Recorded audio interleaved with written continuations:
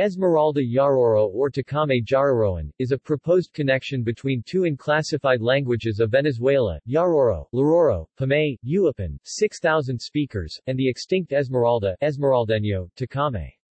They would be only distantly related, but Kaufman 1990 finds the connection convincing, and Campbell and Grondina 2012 believe it worth exploring. References Kaufman, Terence 1990. Language History in South America, What We Know and How to Know More. In Doris L. Payne. Amazonian Linguistics. Austin, University of Texas Press.